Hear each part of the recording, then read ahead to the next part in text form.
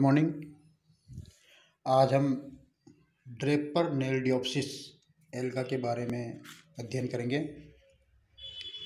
Draper नेलडियोप्सिस। Draper नेलडियोप्सिस की systematic position हम देखें क्लास इसका टेक्सोनोमिक पोजीशन देखें तो इसका डिवीज़न है क्लोरोफाइटा क्लास है क्लोरोफाइसी ऑर्डर है Chaetophorales family Chaetophoraceae genus Draparnaldiopsis species है इंडिका। तो यह ड्रेपर नेल्डियोप्सिस क्लेडोफोरा की लाइफ साइकिल की तरह ही इसकी लाइफ साइकिल भी उसी तरह से होती है। और इसमें isomorphic alternation of generation Cladophora के समान ही पाई जाती है। अर्थात इसका थैलस दो प्रकार का होता है हैप्लॉइड और डिप्लॉइड लेकिन दोनों थैलस मॉर्फोलॉजिकली एकदम सिमिलर होते हैं। इसलिए इस प्रकार के लाइफ साइकिल को आइसोमोर्फिक लाइफ साइकिल कहते हैं। लेकिन जेनेटिकली और फिजियोलॉजिकली ये थैलस अलग अलग होते हैं। जेनेटिकली मीन्स अगर थैलस हैप्लॉइड है तो उसमें क्रोमोसोम्स का नंबर हैप्लॉइड होगा और डिप्लॉइड है तो उसमें क्रोमोसोम्स के दो सेट पाए जाते हैं। तो आज हम इसमें सिस्टमेटिक पोजीशन थैलस और सेल स्ट्रक्चर के बारे में इसका अध्ययन करेंगे। ड्रेपर नेल्डियोप्सिस कहाँ पाया जाता है, इसका प्राप्ति स्थान क्या है?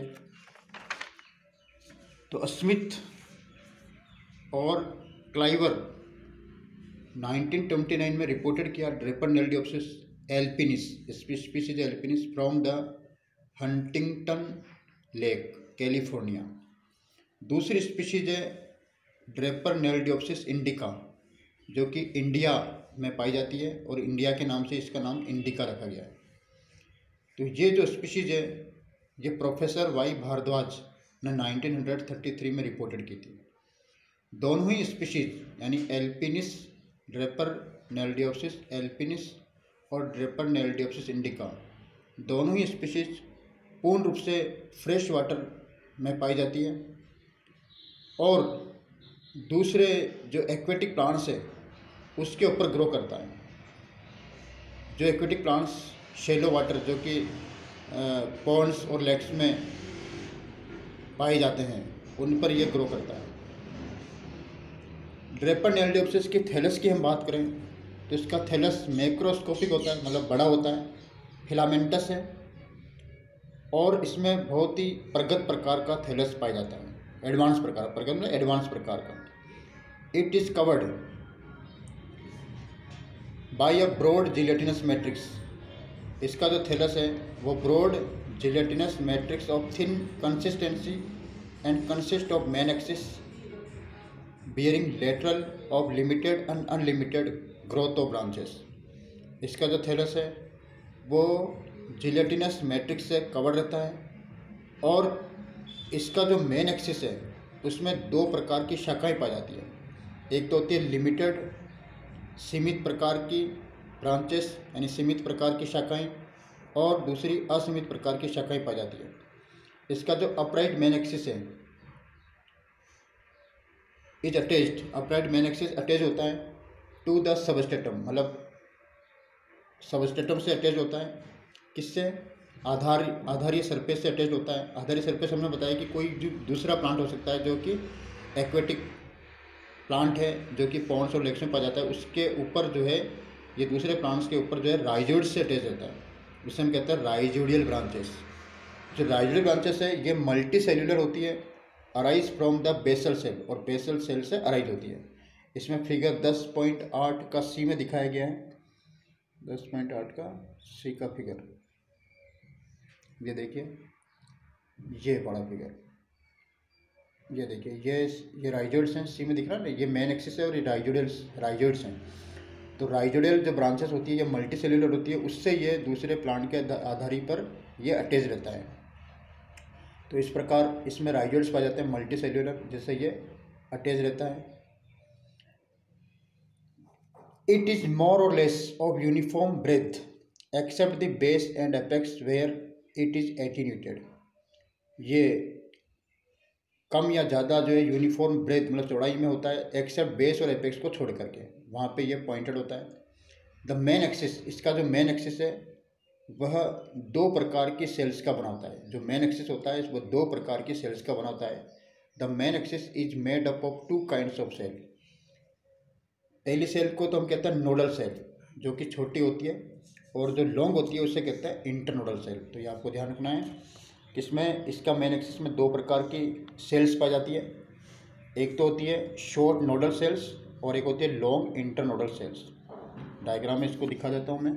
Short internodal sorry short nodal और लॉन्ग इंटरनोडल ये आपको डायग्राम में दिखा देते हैं।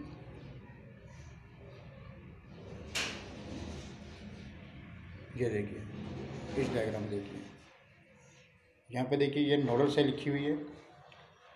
ये नोडल सेल है। नोडल सेल्स जो है, वो शॉर्ट है, छोटी है और इसके ऊपर है इंटर नोडल सेल तो नोडल सेल और इंटर नोडल सेल दोनों अल्टरनेट रूप से पाई जाती है।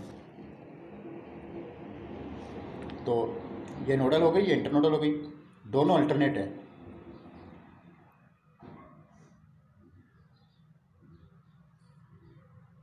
The internodal cells are elongate वो लंबी होती है और एंड सिलेंड्रिकल और वो बेलनाकार होती है। बट समटाइम्स बैरल शेप्ड कभी कभी वो बैरल शेप्ड होती है। दे आर यूजुअली टू और three times as long as nodal cell ये कभी कभी जो है, दो गुना, तीन गुना लंबी होती है नोडल सेल से। The latter are short discoidal and barrel shaped nodal cell जो होती है, वो छोटी होती है डिस्कोडल होती है बैरल शेप होती है। These two types of cells are joint दोनों टाइप की जो सेल्स है जॉइंट होती है एंड टू एंड रेगुलरली नियमित रूप से अल्टरनेटिंग अल्टरनेट रूप से पाई जाती है। नोडल फिर इंटरनोडल फिर नोडल फिर इंटरनोडल इस प्रकार से ये alternating with each other throughout the entire length of the filament पूरे फिलामेंट की लेंथ लंबाई में ये अल्टरनेट रूप से पाई जाती है। Sometimes there may be more than one internodal cells between the two successive nodal cells कभी कभी एक से ज़्यादा भी होती है नोडल सेल्स के बीच में internodal cells the nodal cells alone bear the lateral which are two types अकेली नोडल सेल जो है, वो दो प्रकार के लेटरल ब्रांचेस को प्रोड्यूस करती है। मतलब नोडल सेल से ही जो ब्रांचेस है, वो निकलती है बॉर्न होती है। और वो ब्रांच कौन कौन सी है? अभी बताया था लॉन्ग यानी लिमिटेड और अनलिमिटेड ब्रांचेस इसमें आ जाएगा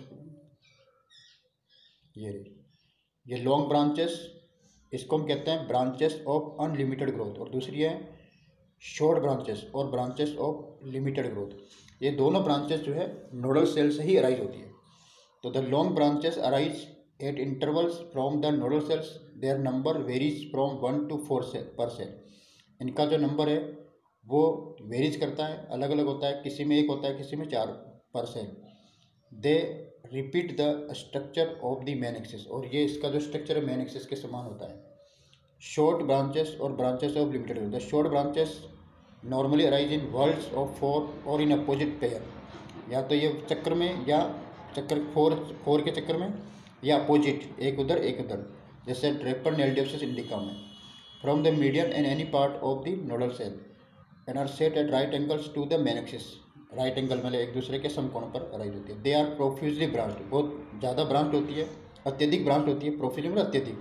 Branch and show no evidence of an axis the same model cell में bear branches of both kinds और ऑल ऑफ़ लिमिटेड ग्रोथ और all of unlimited growth Smith reported that Drepaneldiopsis alpinis, the basal cell of the short branches are cuneate and di or trichotomously folded at the apex. The cells borne by these basal cells may also be folded dichotomously at their spices and uh, at their spices, spinal apexes, and this may continue for three or four cells formed in succession. The ultimate branches of the short lateral जो इसकी short lateral की जो अंतिम जो branch है वो taper towards the apex यानी taper मतलब वो आगे की तरफ़ जो है संकुचित होकर के एपेक्स की ओर और एक लॉन्ग यानी एंड हो जाता है long colourless hair like process में कन्वर्ट हो जाता है। कंसिस्टिंग ऑफ़ वन और more greatly elongated cells in which the chloroplast have totally disappeared और डिसऑर्गेनाइज कहना का अर्थ यह है कि जो शॉर्ट लेटरल जो ब्रांचेस है, उसका जो अंतिम सिरा है, वो बिल्कुल संकुचित होकर के एक रोम के समान, यानी हेयर के समान संरचना में परिवर्तित हो जाता है और उसके अंदर जो क्लोरोप्लास्ट है, वो नहीं पाया जाता यदि हो, होगा तो वो डिसअपियर हो जाता है या डिसऑर्गेनाइज हो जाएगा। तो ये इस ब्रांचेस का अंतिम सिरा इस तरह से होता है।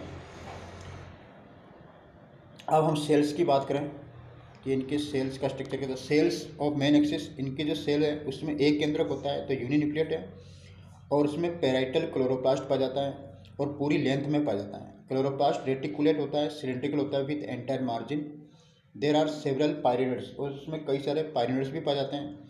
इसका जो कंटेंट्स है densely fill the cell the cells in the branches have also parietal reticulate chloroplast with one or sometimes two pyrenoids Smith and Klyver 1920 ने reported that In Draper-Nelldiopsis alpinis, the single parietal cylindrical chloroplast in the cells of the main axis and long branches is reticulate and form equatorial girdle.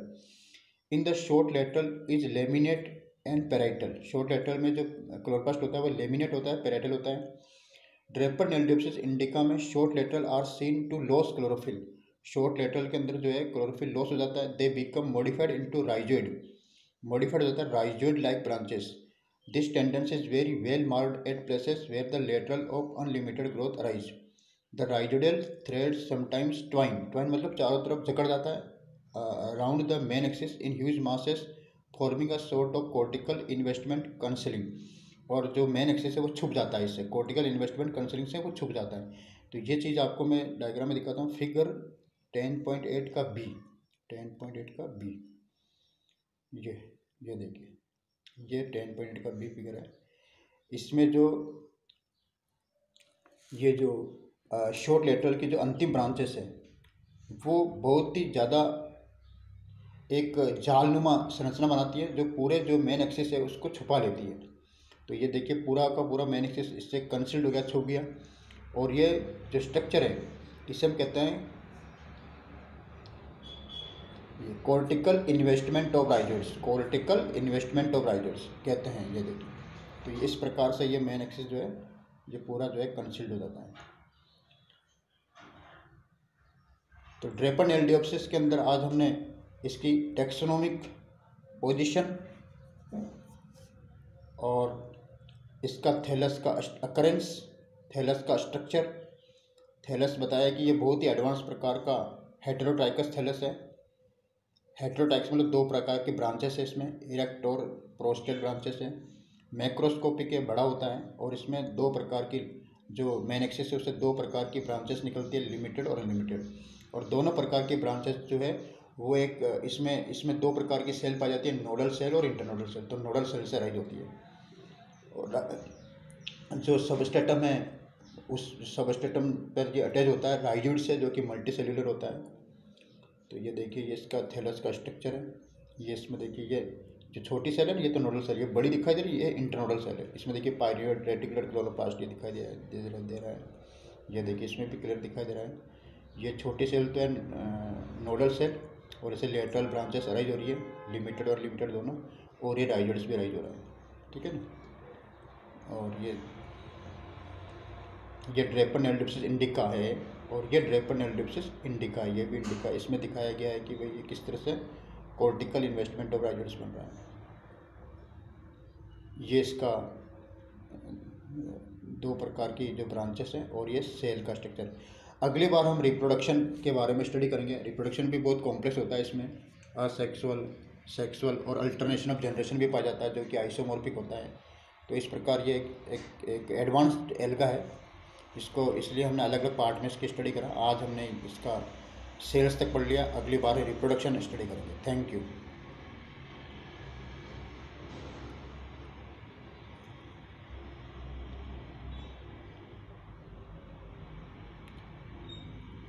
ये reproduction जो है, इसमें भी जो है